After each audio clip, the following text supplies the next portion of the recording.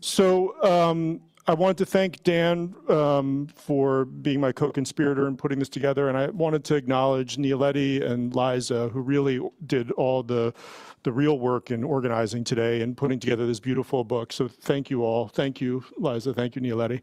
Um, so I don't want to do a lot of throat clearing, but I just want to say two words about why from my perspective, um, we embarked on this project back in uh, the middle of 2020, uh, I think was when the idea first came in, into my mind.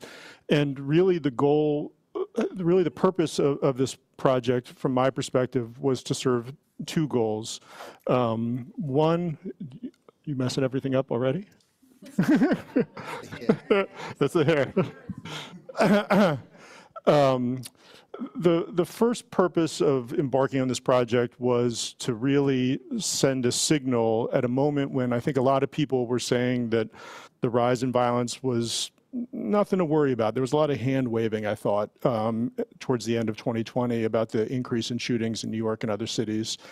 And I think that I wanted to send the signal that it, this was actually something that was serious and required serious attention and, and new thinking, in, in, fact. So that, that was the first goal of this project from my perspective. And, and the second goal was really um, in convening a diverse array of experts to really send a, a underlying message of pluralism and respectful engagement um, no offense, but everybody I interviewed, I disagreed with in one way or another. Um, but I also learned just a ton from talking to all these people. Um, they were so wise and so insightful.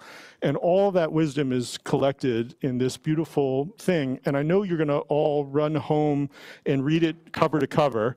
But um, just as a teaser, we've put together uh, two amazing panels for you today. Um, and so this is our first panel, A-list um, combination. Both panels are a mix of people that I interviewed for at the Crossroads, and I threw in a couple of ringers who I wish I had interviewed for at the Crossroads, just to spice things up a little bit.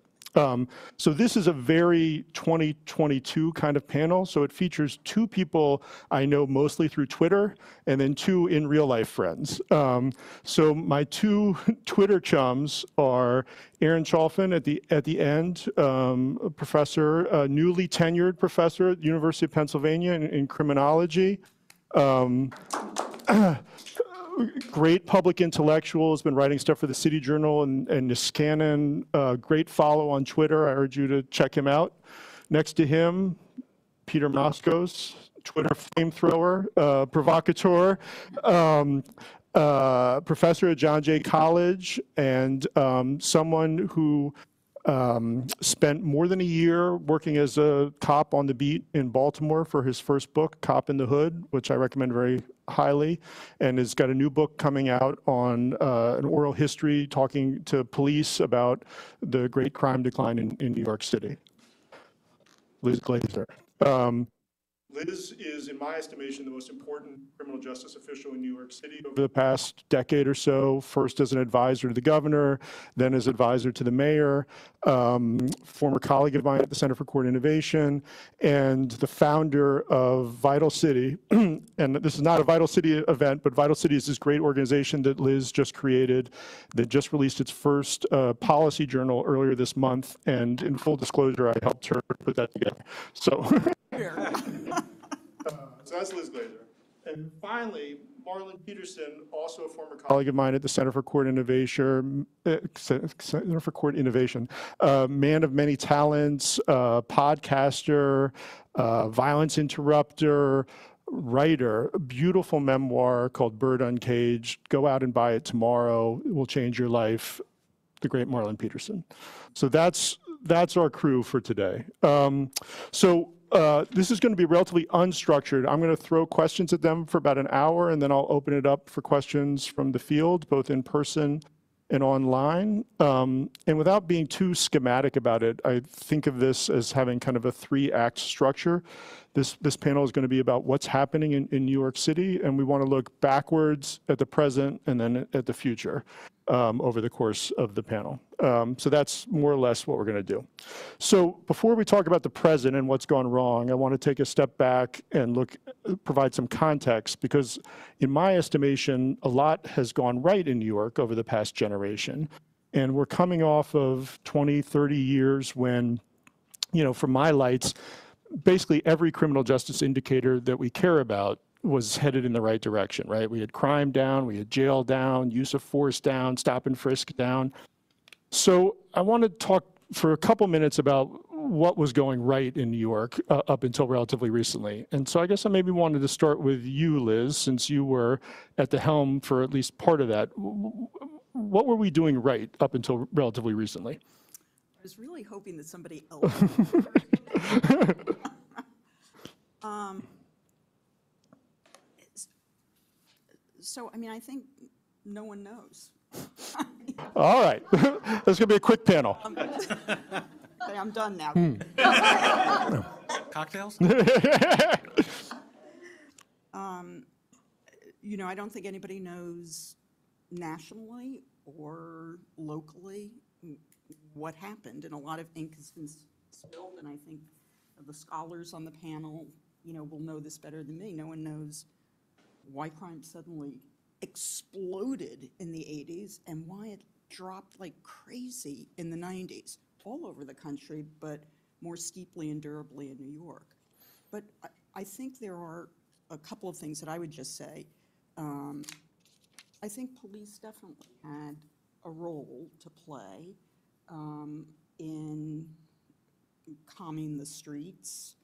Um, I think we learned a lot about what the price was that we paid for police, um, being sort of the primary actor.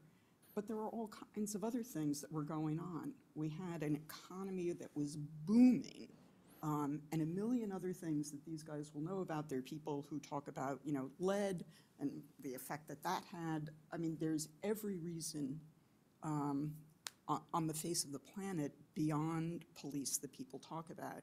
And so the one thing that I had actually wanted to say, hoping go first knows the answer to this question, is I think it's really interesting that when we talk about or try to speculate about um, why crime declined, we do examine a broad array of issues, you know, the aging of the baby boomers, uh, all the things that I just mentioned. And yet, when crime goes up, our immediate reflex is flood the zone. And we don't think seriously or give weight to perhaps we should turn on the lights. Perhaps we should invest in summer youth employment and summer youth employment collect, connected to other things. Um, So I just wanted to, you know, put that gun on the mantelpiece so I could fire it and Act Three. So Peter, as you listen to that, I mean, I feel like we came off a period where police were getting all the credit for the crime decline. And now it feels like we're kind of in the reverse where people don't want to credit police with any part of the crime decline. Are we giving, how do we give the police the right amount of credit, I guess would be the question. I don't know if it's so important to give police, I mean, it would be nice to give police the right amount of credit. I think it's, but in a way, I don't think it, whether it's a medium amount or a lot, like, you know, I find that almost less important than the, looking at what actually happened. Um, And I think Liz is being too modest um, because she and I have spoken about this in the past, uh, the role of prosecution uh, that, that started um, in, when the crime decline started. Um, That's, one- I mean, it's a big jigsaw puzzle that you put together. I focus on the police side, so, you know, keep that in mind, that I'm, I'm, you know, I'm not an expert in mental health and these other issues. Um, But I would say that just, I do think I, partly because I'm writing a book about it, so I better have some confidence. in. I do think I know why crime went down, at least the, the police part of it, which I think was, was huge. Um, And it, it started with just a fundamental shifting of attitude that it's the role of police to focus on crime. And I think um, either we've forgotten or we're not old enough to remember that, that police were not focused on crime in the 70s and 80s. Um, And that is a transition that happened in the NYPD when Bratton came on and brought on Jack Maple and, and, and his crew, and they said, we're gonna talk about crime, and that was a, to take this large organization with all its inertia and, and, you know, two hundred years of history unencumbered by progress is, is sort of a cliche of a lot of city organizations. Um, to, to, to shift that around and do it so quickly mattered, and there, I mean, we don't have time, uh, though, you know, cocktails later, I can tell you for hours about the specific things, but it was an attitude shift, and said, this is our job. Um, and it went away from the root causes, uh, theories that I think, as far as I can tell, if not originated, at least uh, got traction with the Kerner Commission in the late 60s in response to urban riots, that said it's society's problem and the role of police is to basically um, not provoke, not be racist, not be brutal, and come when called. And that call and response model of policing um, made police departments focus on corruption. I mean, for good reason, because then you have Serpico and the Knapp Commission. Um, But the, the job of the NYPD was largely to stay out of trouble and stay out of the newspapers as much as possible um, until the 90s happened. Um, I do want to take a quick moment to talk about those macro issues, to say what it's not. Um, Look, ultimately, none of us know for sure the role of declining lead um, or Roe versus Wade, um, though that's been more debunked. Clearly, lead isn't good in the environment, you know, so, uh, um, but the idea that that would cause a 10% reduction in murders in 1994 and a 15% reduction in murders in 1995 is absurd. Um, It was a gradual decline that was obviously beneficial, um, but policies and leadership matter. Um, It's not something in the air. Uh, So, yeah, um, demographics, poverty, the economy may have been booming, but poverty in New York increased in the 90s. There were more people living in poverty in 2000 than in 1990 in New York, um, which also means inequality increased. Um, The demographic factors, which I obviously have some importance, um, simply, it, it doesn't explain the crime decline. Um, And I think people quickly go to those things, oh, yeah, I mean, unemployment went up during that decade in New York City. Um, Nor, to jump to the present, would it explain this great increase recently.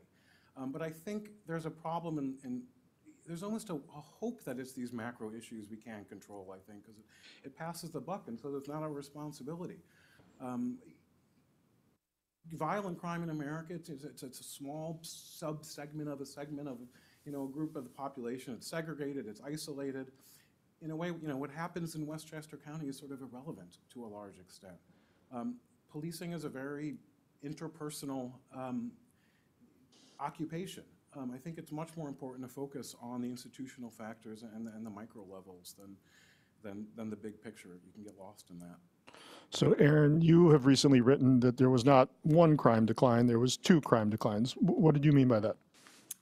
Yeah, so the 1990s, right? We all know about the 1990s uh, homicide. In New York went down a little, a little bit over 70%, but went down nationally by over half during the 1990s. So, you know, New York was the beneficiary of this residual decline, uh, but, you know, this was a, a tide that swept all ships. If you look at the, the most recent decade, let's say from 2010 until, up until March of 2020, uh, homicide and shootings go down by half in New York. They go down 50% at a time when nationally homicides were, were actually flat or maybe even rising uh, starting in 2015. So, in some ways, I think the last 10 years, in New York City are more incredible than what happened in the 1990s because it's, it's really bucking this national trend to, to, to a large extent.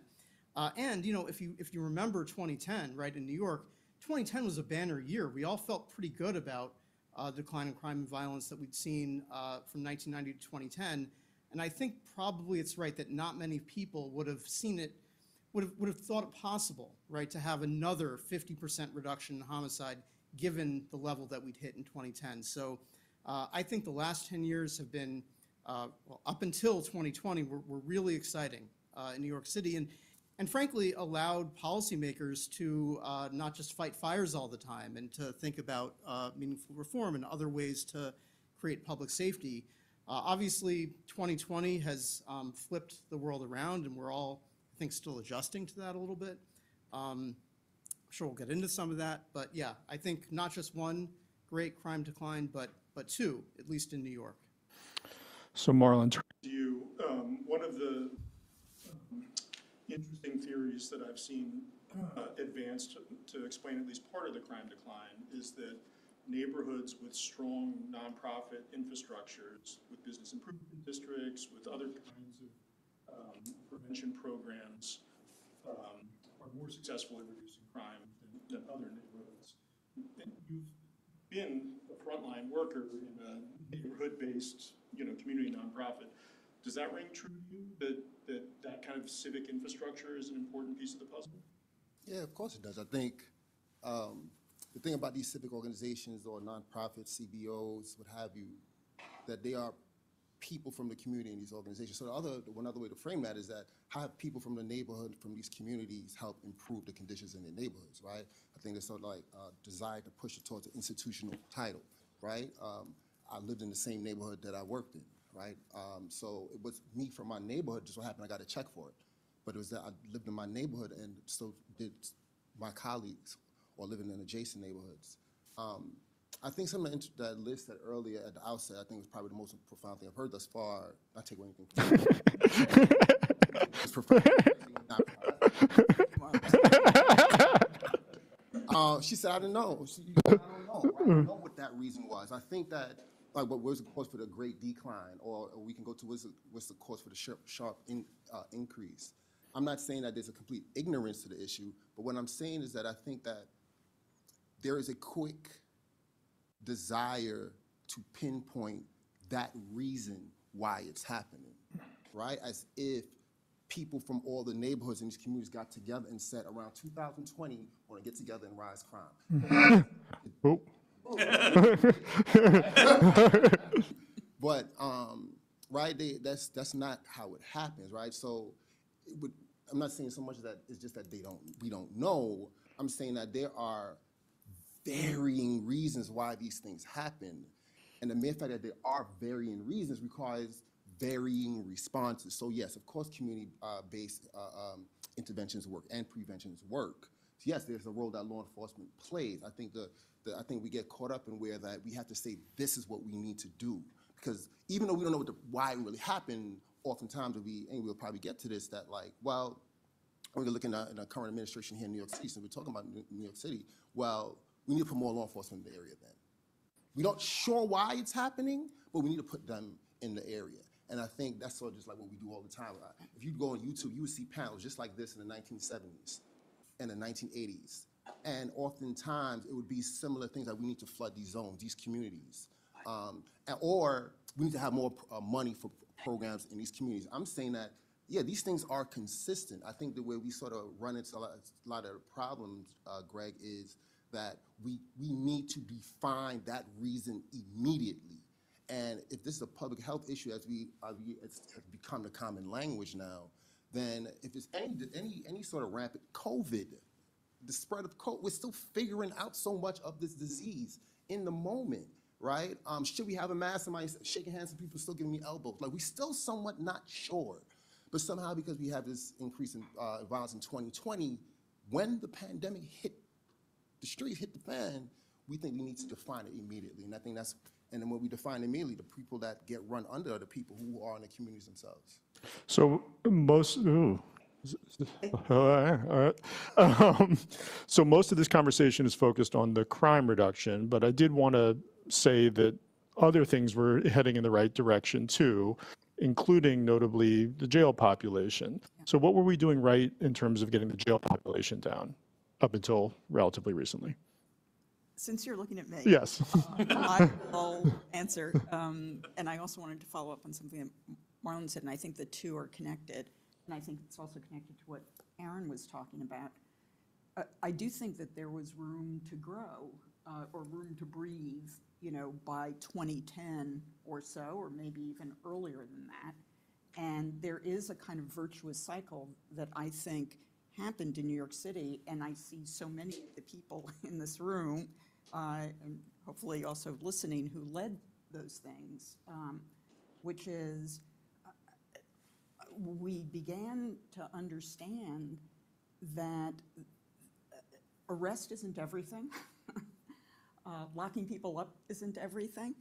uh, That there are a lot of other ways to put people on a path to a better life that doesn't include a completely punitive approach. And so there is a very intentional effort um, on the part of the defenders and prosecutors and public officials who funded alternatives to in- in detention and uh, alternatives to incarceration, um, to rethink about when is it that we should really use this awesome power of the hand of the state uh, to respond to, uh, to behavior that is, you know, uh, that is hurting people. And so you had this sort of uh, effect of fewer people were being arrested for lower-level crimes. Uh, People who were being arrested, there was more and more use of alternatives to detention and incarceration. There was more attention to how long people actually stayed, uh, less success in that area. Um, and so I think all of that sort of fed on itself, and the more that happened, and I see somebody here who really led sort of those programs, the more judges who really end up being the fulcrum of who is in and who is out were hungry for the kinds of programs that were being um, given. But I, but can I just Yeah. follow up on something? Because I thought, um, you said something incredibly profound. I thought, Which is, yeah, right, we keep trying to say, well, it was the police, or it was whatever, that concrete thing that you can hold in your hand and see, that's what reduced crime, um, or that's what will reduce crime. And in fact, it's obviously much more complicated than that. Um, You know, crime is about behavior. How is behavior changed and controlled? It's all these like inchoate things, your, your neighbors, your family, the people you hang out with.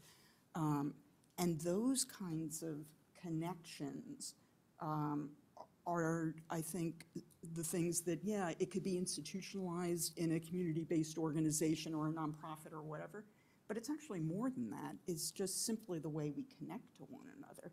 And in the main, that's actually in 99% of life what we rely upon to ensure that we live peaceably together, not in the first instance, call the police to help me with the fight I'm having with John.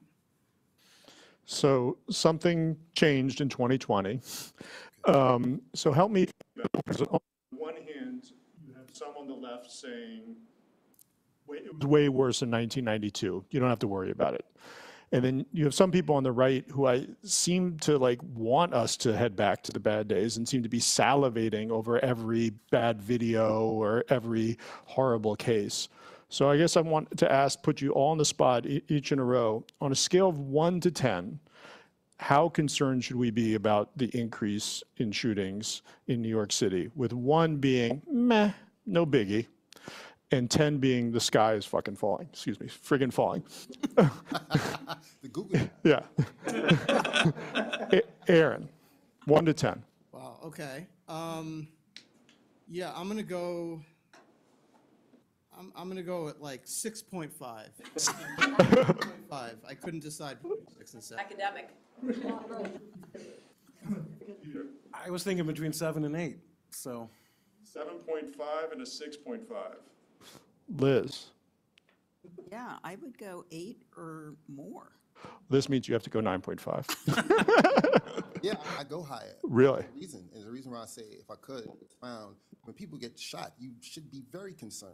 I think that we should always be very concerned, even if it seems, I'm from the nineties, right? I grew up in the middle of it, so I, yes, quantity-wise, there's more shootings and people being killed back then. We should always be very concerned. I think the approach to that concern is what is where the nuance lies. Absolutely. If I can find, yeah, Yeah. one of the things I just find so more than frustrating um, in the past two years is the amount of people who aren't at risk telling other people not to worry about it. Um, I find it unconscionable. Um, Getting shot is horrible. Um, And a lot of people just have no contact with violence and therefore contextualize it and rationalize it. Um, that's- yeah, So Marlon, when I interviewed you for, at the Crossroads, you said that when you were growing up, getting a gun was easier than getting a pair of sneakers. Do you have a sense, is that still the case? Yeah, I could give you a little context to that. This, this is a little bit like how that was misquoted though. Oh, I misquoted you? There's misquoted. Um, No, I was running a youth program uh, from the center, U- SOS, and I was working with a group of young people at that time. And and this is in the early 2000 2011, 12, somewhere around there. And a kid said to me, guns are like sneakers, like sneakers, it just matter which one you want to get. When I was growing up in the 90s, the first gun I ever got was at a corner store, right? I'm saying that guns, of course, they're more easier to get. I mean, you look statistically, there's about 10 million guns manufactured in this country every year. 2021, in January, there was record numbers for how many guns were like purchased in this country. So wh- when, when new guns are made, old guns go somewhere, right? And they filter down to neighborhoods and our communities. So without question, they're much easier to get, and we can create them now for, you know, we think about, uh, uh, you know, 3D weapons. So like, without question, weapons are more accessible in America. There are more of those things than there are us people here. So I don't, I think it would be quite logical to expect that there would be an increase in the underground economy of weapons and accessibility of it. So Aaron, you recently released a thing that I found interesting that was looking at even though crimes other than shootings have gone down, uh, as has been fairly well documented during the pandemic, you argued that we shouldn't be satisfied with that because your chances of being a victim of street uh, street encounter, street violence actually went up. Explain to me how that's possible. Yeah, so, so the narrative about 2020, right, was that the homicides and the shootings were way up and, and everything was, everything else was down, right? Uh, But we all stayed inside more. And so uh, what my colleague and I tried to do in, in, in a recent paper that we wrote is to figure out when people were out and about on the street, uh, were they facing a higher risk that they would be uh, the victim of a violent crime? And, you know, what we find is that in April of May of 2020, just during that lockdown period, for people who are out and about, the risk of being victimized is up maybe by about a third uh, in New York. And then, you know, it sort of abates a little bit over the course of 2020. Uh, Looking at the remainder of 2020, the risk of being a, a victim of a violent crime is up by about 15% uh, for people who are are outdoors in New York. Uh, We don't think that's just an artifact of like higher risk people being outside and lower risk people being inside. We looked at that in a lot of different ways. So I, I think actually the, you know, the sort of paradox that people are talking about isn't much of a paradox. It was just a measurement problem. Uh, You know, I, I think, um, you know, looking at the 2020 data, um, if, if we'd done this analysis at the end of 2020, might have predicted that 2021 would not have been a great year uh, for public safety. Um, So, so I, you know, I think that's just an important, um, uh, you know, sort of part of the story uh, in 2020. Also wanted to follow up on, on, on Marlon's point about getting a gun. Uh, You know, I, I just look at the data, right? So, uh, you know, I, I definitely am a step removed from what's been happening in, in communities, but uh, it certainly appears as though more guns were being carried in 2020 than they had been previously. So uh, the cops are stopping way fewer people in 2020 than they were in the past. They were doing fewer searches, but they're seizing more guns. And that starts happening in March of 2020. It doesn't start after the murder of George Floyd. It starts earlier. And so there's something about 2020 that caused people to decide, you know, I think I feel less safe, right? I think I should carry a gun with me. Uh, and, and that's part of the challenge of unraveling what happened during the pandemic, that um, the seeds were planted before the George Floyd incident, right? That, that, you know, it does seem as though there's more gun carrying around. And then any little conflict can just escalate, right? A- And in fact, you see shootings starting to have that stratospheric rise in New York Yeah. in early May. It was before, a little bit before, yeah, that's right. So people have a tendency to point the finger at COVID, right? COVID is a major social dislocation. Um, when I interviewed him for at the Crossroads, Jeremy Travis compared it to the crack epidemic. Um, when I interviewed Joe Richardson, who's back here somewhere, he talked about how um, in COVID times people went online with their beefs and they were able to metastasize online. But help me unpack, like, when people blame COVID, what was it about specifically the COVID phenomenon that may have contributed to this increase? Is it the breaking of, of social ties between people? Is it the people wearing masks? What is it, Marlon? All those things, but also just, just want to pinpoint a thing that we consider one of the possibilities. We had, you think about kids in education in schools. Kids not, were out of school or they were somehow in front of a computer, sort of like kind of in school, right? But not really in school. That was a tremendous strain on all households, families with resources, families without resources, but definitely more of a strain on families without resources. But you also have these young folks, because we're speaking about uh, about statistically, young folks are the ones who usually respond, the one harmed, and the ones who are doing the harm when it comes um, to violent, gun violence particularly. These folks were also not able to interact with each other on a, on a, on a normal way in which we may have done when we were high school kids or at that age. We weren't able to engage in the way, we weren't able to expend that sort of energy that we would do at school, playing around, doing all the things that, little teen, that teenagers do. Then you in, in, in include social media into it, where adults don't know how to interact on social media. Adults get into interaction and, and beefs and animosities and agitations over social media. So of course, young people would do it too, right? And so you put all that together, and then you put together people dying around them. You're hearing sirens all the time, particularly, I'm, I'm in Bed-Stuy, you're hearing sirens all the time, particularly around COVID. Um, there's also obviously the, the, the heightened police uh, tensions in the communities around that time. And imagine being 17 or 16 and you're having your feelings hurt by somebody on social media and all that's happening. And I say your feelings hurt, that matters. We just saw what happened on TV the other day when your feelings get hurt, right? But somehow we think that when it comes to teenagers, we are somehow like, well, why would they do that thing? Well, one, we have to increase accessibility to a, to a, a weapon. I'm mad at you right now and I can get this right now, right now, I'm going to use this thing at the moment, right? So you just, just thinking about that, that's like a cauldron that was happening around 2020, um, and you're just stuck on your block, and you can't go to many places.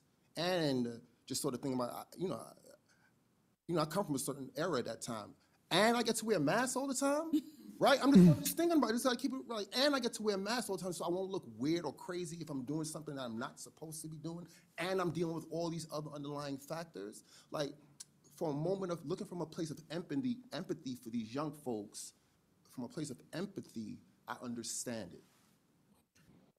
Peter?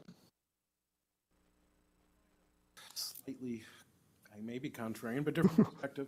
Um, I, I, I can't, I don't want to say the words COVID is overrated, because damn it, it's not. Um, it's a global pandemic, and New York was hit horribly hard, and just hearing you talk about those sirens actually kind of made me go, oh, yeah. Um, it was very real here. Um, I just, you know, I know too many people died. Um, but, yeah, violence was going up a little bit before. It's funny because if you try to emphasize that pu- public policy matters and perhaps some of the reform has been, some of the reform has been counterproductive, um, then people say COVID. And if you say, well, it's COVID or George Floyd, then they say violence was going up before.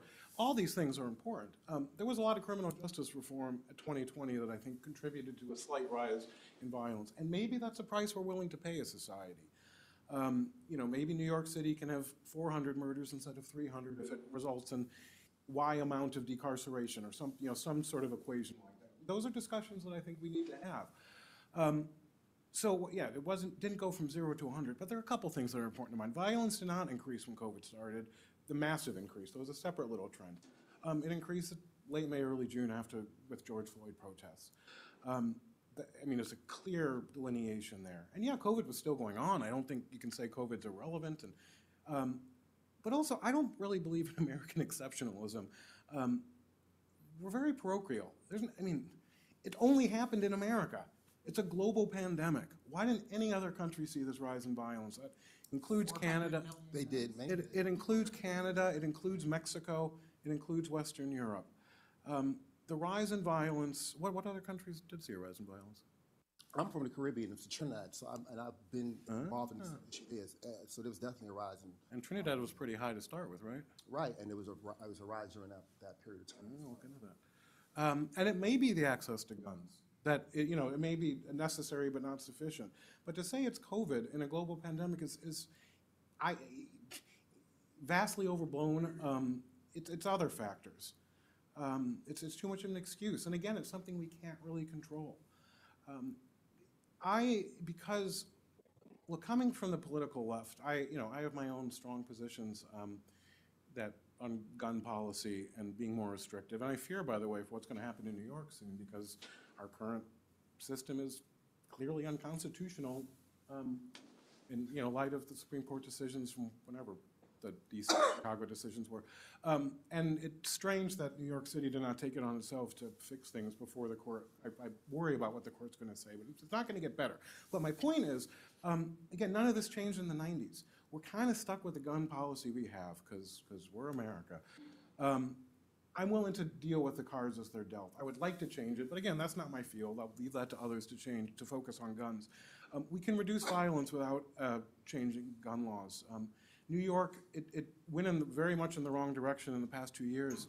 I find it revealing that the percentage of murders committed in New York with a gun were far lower than any other city, including Newark, New Jersey, which has similar gun laws and is literally a subway right away. So there's something that made New Yorkers less likely to have access to a gun to shoot somebody. Um, and that is, I think, what we have to sort of figure out because, yes, there's a problem with too many guns, but I don't know how we're going to change that realistically, but we don't need to. Um, we'll always have higher levels of violence than country, you know, Western European nations with strict gun control and social welfare and all that stuff. Um, but at least we could get back to where we were a few years ago if we, if, you know, if we really put on our thinking caps and had the political will. Aaron, is there evidence that the police stepped away from proactive policing in the wake of the Floyd protests?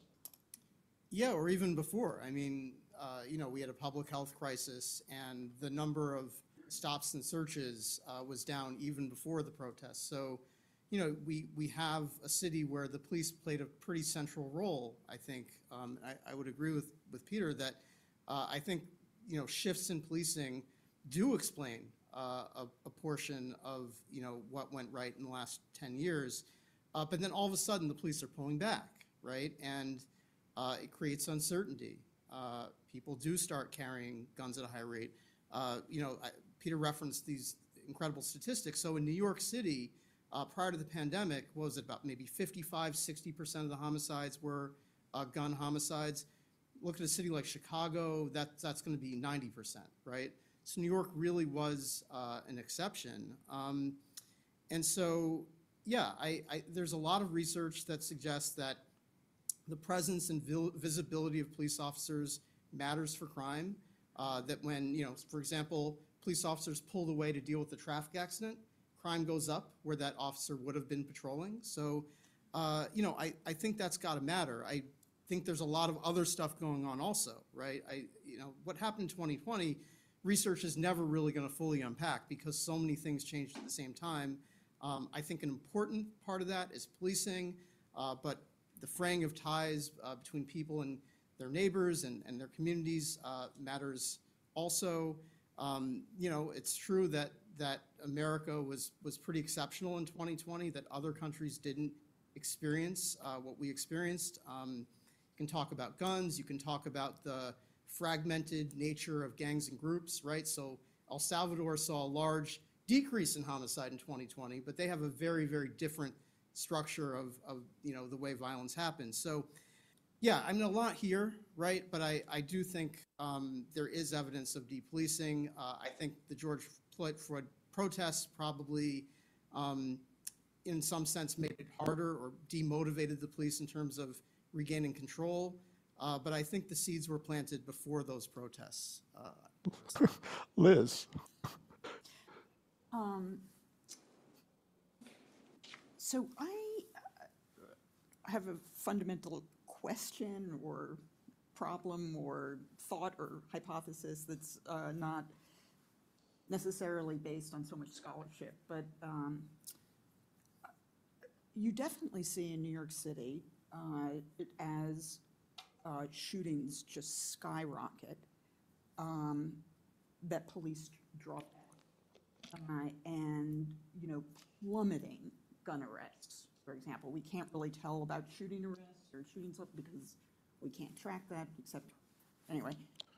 But there's another thing that happens as well, um, which is residents draw back to in a major, major way.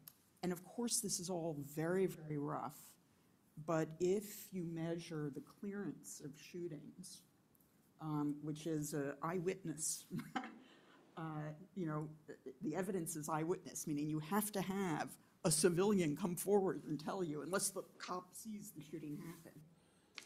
The clearance rates for uh, shootings dropped, particularly in the neighborhoods that were affected, uh, to something like 23%, like one in five. Now, we've never been that great at clearing stuff, you know, maybe shootings, our clearance rate was 50%, 55%, but dropping to that indicates that something else is going on. And, and so for me, when you say, and I've seen your excellent research that, you know, the presence of police deters crime and da-da-da, uh, I wonder whether we shouldn't take very, very seriously the degree to which that presence relies upon some interaction and trust between residents and cops. And that what we saw during 2020 was just the curtain pulled back on a very uneasy relationship to begin with. Um, And it also makes me think, therefore, that the response is not necessarily more cops, which then leads to more cops saying, how can we make ourselves more attractive to the neighborhood? Okay, we're gonna do graffiti programs and basketball programs, I mean, which seems utterly at odds with what civic society is all about. Um, And so I wonder whether, uh, uh, uh, I don't doubt that presence deters criminal activity. The question is, does it have to be the presence of an armed officer? Um, Or can it be another kind of presence? Can, Peter, and then Marlon? can I propose Aaron's next research project? Um, I, I don't, I, I think this I needs, got one from. uh, I, I want to just put this out there as a question. I think it's, there's something here, but I don't know. Um, Aaron's got to research it.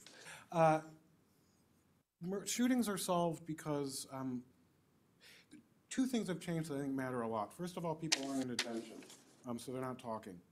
Um, That's how, detention, um, for like pre-trial detention, to get out of jail, you give up a shooter. Um, It's not generally the neighbor looking out the window that gives the shooter out, it's someone else, it's somebody involved in other crimes. So we've lost that leverage, the debriefing aspect. You're arrested, if you, you know, we might let you go if it's a minor crime. Um, It's got to have an impact, I don't know how much. Um, The other factor about witnesses, um, first of all, they're worried about their anonymity now because the defense can get their contact information, even if it's somewhat removed, but at some point, why risk it? And the person who was arrested with the gun is back on the street that night. That has got to have some chilling effect on people talking. It's their neighbor. It's a lot easier to, to cooperate with officials um, when the actual criminal isn't staring at you every day. I don't know what the impact of this, but, but, but I don't think it should be ignored. I would just say that, uh, at least with respect to the last one, about people being back on the street, I don't know that that's changed so much. You For know, gun there- possession, it hasn't? I mean, you will be held in on a federal gun crime, but for a state gun crime, I mean, it- it- it's quite consistent. You know, even if when bail is set, people are out very, very quick. Marlon, you want to get in? A couple of things. I think um, if we sort of look at the places in the city where there has been increases in violence, because it's not entire, it's not, it's not out here, right? Right? There's certain places, and if you want to go by precincts, there's certain precincts, and you go by these precincts, these certain neighborhoods, it has generally been in those same neighborhoods, in those same precincts since before I was born, right? And, which is 1970, you know, anyway. Like, so there's something to be thinking about. What's, what is that telling us about it? Now, it's one way to look at it, a racist play, is these black and brown people, they just can't get it together. That's one way some people could look at that, right?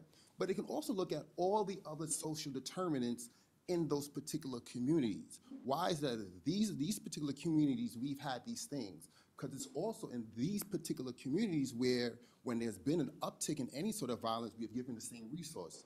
Police, in that same community. So just sort of think if I'm, a- if I am a researcher, one of the questions I would ask, are police effective in reducing crime in these areas? That is a, that's a, that's a question to ask. It may be a hard one to ask, maybe an unpopular one to ask, and maybe a politically incorrect one to ask, but it's a question to ask. And I think that, you know, and the other thing I want to sort of just think about, you spoke about clearance rates, which is ultimately a decline in trust between police and community.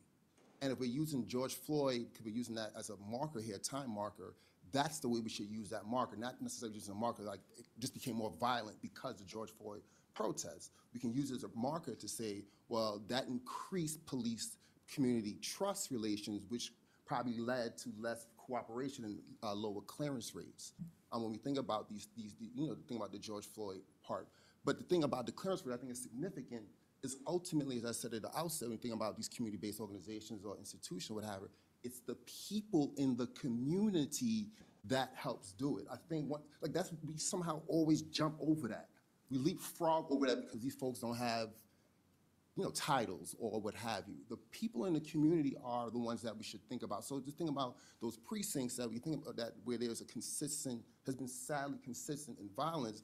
What are we doing to support the people in that community to get themselves out of that? Because if I was a police officer, I would say, and I'm great friends with some, like, I would say, well, we need the police, the people in this community to help us. Police officers always say that. We need the people's hel- help. However, somehow, when we're in policy conversations, we just say we need the police to help. It's something switches there, and I think it's a part of our conditioning to believe that the, the fastest thing to do, for instance, now we're having this conversation, I mean, you've been doing this for a long time, Greg, but like, just sort of think about New York City, where we have the mayor, like, in three months, somehow, some of us expect it, and he probably expects to end gun violence in the city in three months. It's impossible, even when we think about issues of like criminal justice reform policies, bail reform and all these sort of things, or we call DAs looking at things in a different way. It has been two, three years that we've given these people to give us the results that we want, that law enforcement has been able to give us since 1979. I'm just using my, that's when I was born, right, 1979. I'm just sort of thinking like when we had these conversations around violence, gun violence particularly, because violence and gun violence are not always the same thing. There's, there's so many other things that are happening besides somebody picking up a gun.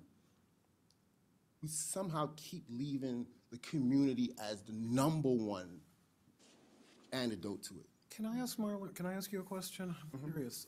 When uh, people talk about the community, I, is it unfair to ask to put these issues on a concept of community? And what I'm saying is, so I, I live in Queens, and if someone were to be shot in my block, I would be offended if someone says, what are you doing to help your community?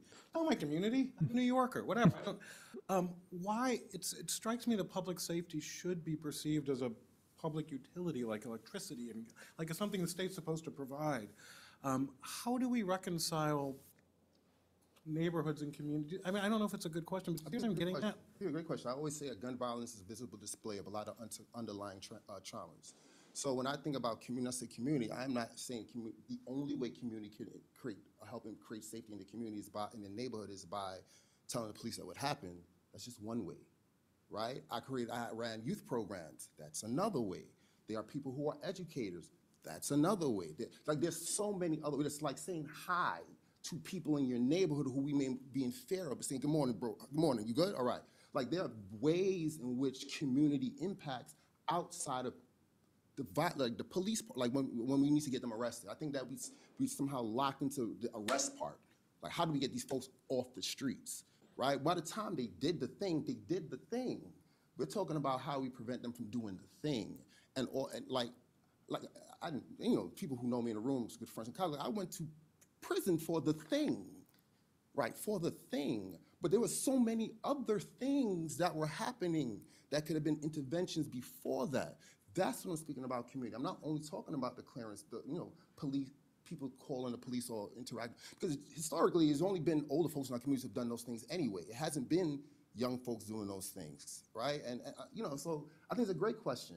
And I think we should expand these questions around how community helps community identify it, pinpoint it, highlight it.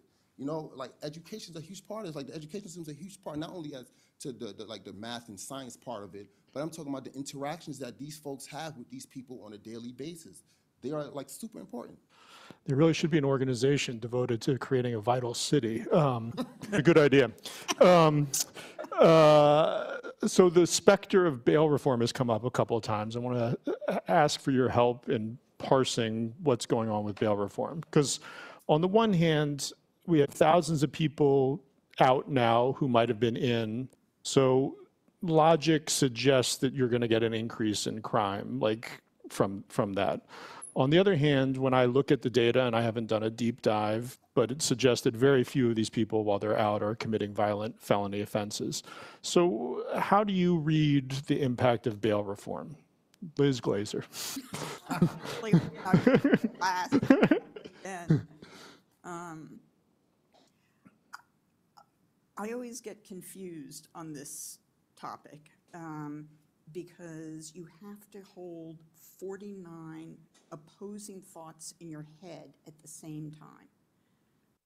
And what I mean by that is the whole snarl over bail reform in New York City is about, why is crime going up? It's because of bail reform. No, it's not because of bail reform. And yet, the nature of the statute has nothing to do with whether people are getting rearrested or what kind of activity is being conducted on the street. New York State only permits a judge to set conditions to assure that person to come back f- to court. Not, not to ensure that that person will not shoot somebody or carry a gun or whatever. And so I, I, it always, I always feel like we're sweeping the floor with an ice cube, you know, great. It's a beautiful metaphor. I thought of it. Liz, let me- Yeah. You know, meaning, maybe you'll get the floor clean, but that's not really what it was created for. Uh, So, uh, so then, when you have things like what's now going on in Albany, where there's, you know, the governor has a 10-point plan that she's put forward, it's just flashing lights and colors. People aren't even pretending it's about get people back to court. The, the discussion is all about danger. And, and so, and not for nothing, but despite the fact that it's just been about getting people back to court, I think that talking to any judge, uh, they would tell you the thing that is front of mind is, is this person who I'm about to release going to shoot somebody? Danger is the thing that they are thinking, and danger is the thing the police commissioner is talking about and the papers in New Yorkers. And so I just feel we're having this conversation that is um, using the wrong thing to solve a problem. The ice cube, sweeping with the ice cube. Peter. Um, there's a lot of good in bail reform. I mean, first of all, it's a big, complicated, there was a lot going on there, as people in this room probably know. It would be so easy to fix it and make it, um, I fear that advocates for bail reform are, who want to use it as a stepping stone to abolition of jails, prisons, and police are going to be in for a bad surprise if they don't fix it. Um, because there will be an inevitable right-wing lock-em-up backlash. Um, The idea that we don't take danger into account, we could just change that, like every other state. That would be it. Okay, yeah, it would be more people in jail. But if, if that's I the, actually wonder if there would be. That, that's okay. the analysis that should be done. Yeah. Because I think that there might not be. not be. Uh, But then you need to eliminate cash bail, because cash bail is just, Um, Yeah, this idea of, yeah, the pretrial detention is, is something that we're, we want to move towards doing away with entirely is, is not good policy. Um, So we could fix it and keep the good and get rid of some of the bad. But there's also, yeah, there's a dissonance, the New York Times today or yesterday just reported this figure that I think started in the Times Albany Union, the idea that only two percent commit violence. It's not true. The data is out there, it's publicly available. It's bad data. It doesn't tell you that, what that figure is. You can't determine, it's more than two percent. Um, what that data can tell you is that ten percent of people arrested in New York City have open cases for violent felony offenses, and thirty-five percent of everyone arrested has an open case. Now, that's not quite recidivism, it's, you know, it's- it's sort of switching recidivism on its head, but, but we, but that data is at least available. Um, all it tells you is what the first arrest is, is, the, which means if you're arrested, if you're out because of bail reform and you commit a misdemeanor and then you shoot somebody, it counts as, it only counts the first arrest. So it's, it's, it's ugly data, but it's, it's, um, I don't know, it just, it's not two percent, it's more than that. So I don't know what, again, what's the number where we start to say, oh, it matters? But we at least need to start being honest with, with the data about it. I'll get back to you. I want to turn to you, Aaron, on this theme of getting rid of the bad. I want to ask you about broken windows. So is it imaginable there's, a- and this is the theory that was promulgated 40 years ago by George Kelling and James Q. Wilson in the, in the Atlantic. Is it possible to imagine an approach that keeps the good of broken windows, from my perspective, that um, we should care about social disorder and, and the small things matter, without getting, and getting rid of the bad, which would be, you know, the kind of over-criminalization, over-enforcement, particularly in communities of color? Is it even possible to imagine that? Yeah, so I, I'm, you know, fairly optimistic about this. Um, you know, when you when you think about what the police were doing, you know, leading up to 2011, right? You know, 750,000 street stops in New York, the official count. Um, you know, the marginal, the- the value of the marginal stop was probably pretty low, right, in terms of public safety, right? So uh, there's there's research that shows that when a new uh, precinct commander cycles into a, a NYPD precinct, has a very different approach to policing, raises the number of stops, and crime and violence doesn't really respond to that, right? It's it's not it's not a big effect in either direction. So you know, I, I think it's right that once we tamp down, once we raise stops to, to this really, really high level, um, a lot of those stops were a priori unlikely to have a big effect on, on safety. So I think that, um, you know, it, it's possible to be more focused with what police are doing and get most of the benefits of what police do without making tons and tons of stops. Uh, having said that, I mean, some stops are really productive, right? Um, you know, sometimes you, you, you know, find someone who really, um, you know, might commit a serious crime. So, uh, you know, you want the police to be uh, focused on, on the key people. Uh, I think in New York, you know, one of the things that um, was done very effectively when federal courts put an end to what we think of as mass stop, question, frisk in New York City is the police department and federal, and the prosecutors in, in, in the city and federal prosecutors as well did adjust. Uh, and they focused much more on um, building major cases against the um, gangs and groups that are driving a lot of the violence. So they're not stopping people for just walking around public housing because they couldn't show ID, right, indicating that they live there. Uh, you know, it's a much more precise strategy. Uh, I think it was a much more effective way uh, to police in New York City. Um, you know, Violence there's went down during this violence went important- violence went down. Um, you know, there are, are still collateral costs to this. Uh, you know, it's precision policing. It's probably not precision prosecution in many respects. Um, but you know, I so yeah, I'm I'm hopeful. I think that what the police do matters. It's not just presence. Um, I think more investigative resources would be a big help. Twenty-three percent is a very bad number to clear shootings. It's higher than Chicago and some other in Philadelphia, for that matter, by the way. Um, but it's it's bad news. And you know, if you think about the need for police legitimacy, you know, part of that is obviously about police abuse, but some of it is is just the feeling that the police aren't doing what they're supposed to be doing, which is uh, solving serious crime. And so, um, I think those are the things that that that I would focus on, just looking at, at the research. But Liz? leave it at that. So I just wanted to get back to the disorder thing. And I have so much to say to you on investigation involving things, but, uh, So just think about how this conversation just went. You said, what do we think about broken windows and how you deal with issues of disorder in neighborhoods um, that everybody cares about? You know, someone peeing in front of your building, uh, Or worse? um, And it immediately became a conversation about How many stops? Should we arrest people? Should we summons them? Da.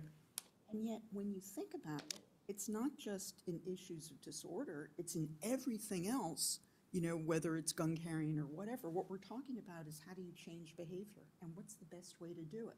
And when you think about what's the best way to change behavior, the world is this big and cops are over here. So is the best way to stop people from drinking in public, if that's really what you care about, and apparently it is, because most of the summonses that we serve in the city of New York are for public drinking, is the best way to do that? To serve hundreds of thousands of summonses, which is what we did for many years? Then we suddenly said, well, they shouldn't be criminal summonses, they'll be civil summonses. But you know what happens to those summonses? Exactly nothing. And year after year after year, people are still doing the same thing. So if you really care about stopping people from jumping turnstiles, drinking in public, there are other ways to do that that have nothing to do with the criminal justice system. Um, So I, I would just urge that instead of starting with the criminal justice system and thinking about how we live peaceably together, we start in a different place. Peter? If I could give an example, it's just over there, I think, in Bryant Park. Um, And I mention this because I spoke to the, to Dan Biederman, who's started the Bryant Park uh, Corporation and redid the park in the early 90s. And it was, it- after getting Subway off graffitis in the 80s, it was the first sort of reclamation of public space, the reopening of Bryant Park.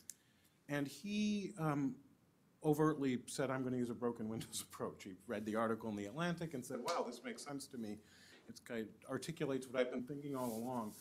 Um, But the reason I mention it is partly because it's in, it's on my mind because it's in my book that's coming out, but it, it didn't involve police. It involved broken windows. Bryant Park had a near permanent police presence in the 80s. Um, and then they'd arrest some drug dealer and be off the street. Bryant Park does not have a police presence today. Um, Public safety was achieved um, through, what do you call softscape, urban design. It was uh, achieved through programming, getting people in the park. Um, Very much of sort of a Jane Jacobs idea of eyes on the street. Um, And I think, and, you know, and it's still a free park and has nice bathrooms. Um, I think we can agree that Bryant Park is better now than it was, you know, before 1990. Um, And it was done basically, not only without policing, but now requires less policing. And, and this is exactly the point that, oh, sorry. Go ahead, Liz. So, uh, for anyone who's read Palaces for the People, Eric Klinenberg's book, he talks about the broken windows article and what it actually said, which was not arrest every single person for every single crime, um, um, exaggerate, um, but rather talked about exactly what you're talking about, which is physical conditions. And he looks at an experiment that was done by the Horticultural Society uh, and, uh, and uh, uh, professors at the University of Pennsylvania in, in uh, Philadelphia, in which they looked, they essentially took lots that had been overgrown and tended to them and fixed up dilapidated places. And you guys will know what the percentage reduction was, but it was some unbelievable reduction in crime uh, by simply doing something that had nothing to do with arrests or anything else, but to do with the change of the physical landscape. And, um, and I think it's a very, very profound point, and that Vital City will be dealing with next in its next issue, um, which is what, what is it that welcoming public spaces, not, you know, Klieg lights and ra- raked sand, but what is it that inviting public spaces do that knit people together, that make um, a peaceful environment uh, that you can achieve without a million summonses and arrests? So in, in that spirit, I'm going to open it up to questions in a second, but before I do, I want to ask each of you, uh, starting with you, Marlon, to say at least one thing, could be more, that makes you hopeful as you look to the future. Great. Um, notwithstanding your 9.5 uh, f- fear level. no, no. Um, I had a daughter. That makes me hopeful um, for it. Um, and and and uh, and it's, the reason behind that is that like there these co- hope, hopefully as we have more nuanced conversations by the time she's at our age saying violence would have been eradicated because we believe in that so much as a country but I believe that we may have sort of expanded the notion of how we deal with it in various ways uh, before we get to the gun violence part but the other thing I think um, and I can't believe I'm gonna say this and it's being recorded so I gotta think like so this, I was listening in preparation. I was listening to um, Eric Adams. His gave a speech when he was um, Mayor Adams, excuse me, when he was give, uh, introducing his blueprint to end violence in, in New York City. And in it, along with you know all the you know increased different types of enforcement, policing, and all those sort of things, he said something that most folks don't say often in these sort of spaces. He said, "Well, I want to also continue to fund these other type of programs around the city, these violence intervention things and all that." And though I still believe that it was still much a heavy law enforcement approach to it, there's something to be said that I feel like it's hopeful that more that that that part about inc- like doubling down on community resources, particularly these newer type of ones, for what it's worth, violence intervention and all these in this form of uh, the, the crisis management system, uh, violence interrupters, all those sort of things. In this institutional form, it's no, it's probably 12, 13, 14 years old in New York City. I was the first violence interrupter in Brooklyn, one of the first, right? So it's not all that old. But what I'm saying, there's something hopeful about the fact that there is a doubling down on the community that we can do. That, that, that makes me hopeful, and I say this with some level of, as I said, you know, I have a lot of disagreements with, you know, with the mayor, but like, there's something to be said about that, that I think that not only for him, but other um, municipalities around the country should sort of pick up on that part. Liz, something that makes you hopeful. Um, I think that even though the pendulum sort of swings back and forth, uh, that we have substantially moved in a better direction in which it's not always all about the police, and that people are actually embarrassed to say it's always just about the police. And I think you see it in Adams' platform, even if his tug is back to the police. I think you see it when Biden comes to town, and sure, the big thing is in the sea of blue, and he whispers across town, you know, Queensbridge about violence interrupters, but he whispers, and there's some significant amount of money that's going to be invested in things that are not just, um, that are not just police and law enforcement.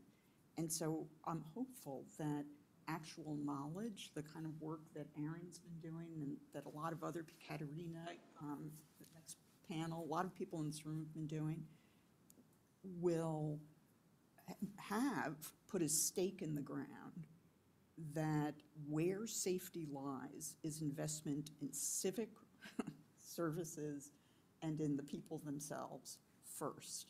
Uh, And I think that's a hard thing to ratchet back from. Peter, sign of hope. I'm not hopeful. Um, Things can always get worse. That's beautiful. But I mean, I but it's important to keep in mind. I think I'm hopeful, I think the pendulum has swung back a little bit from crazy into just moderately absurd. Um, I mean, the fact that we're having this panel, I mean, I spent all of 2020 saying, this is literally the largest increase in violence in American history. And people with PhDs are like, oh, don't worry. I mean, it was just, it was- there was a level of out of touch of reality that I, that, so I think we're at least starting to talk about issues in a real way that we haven't for the past two years, um, issues of crime and community and violence and policing. So maybe things will get better, but I, I, I'm, no, I am not hopeful right now. Aaron, can you bring us home with a slightly more hopeful perspective than that? My, my training's in economics, which is known as the dismal science. Um, Yeah, no, I, I, I'll give a researcher answer. I, I think we know more than we ever did about what works and what doesn't to um, provide public safety. We, we know that with respect to policing, but we also have a, a wide array of ev- evidence on non-policing strategies too.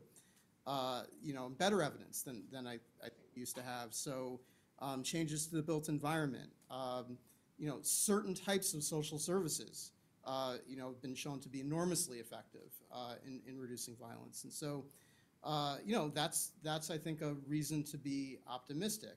Uh, You know, New York had very good leadership over the last, um, you know, so odd years. Uh, You know, I, I hope we'll, we'll continue to have leadership that, you know, is uh, focused on, uh, you know, being evidence-based. Uh, So, so yeah, I don't think it, you know, the world, um, you know, has to just go down this rat hole and not come out of it for, for 20 years. Uh, The other thing I'd say is, is, you know, I'd give a different answer for Philadelphia than I give for New York.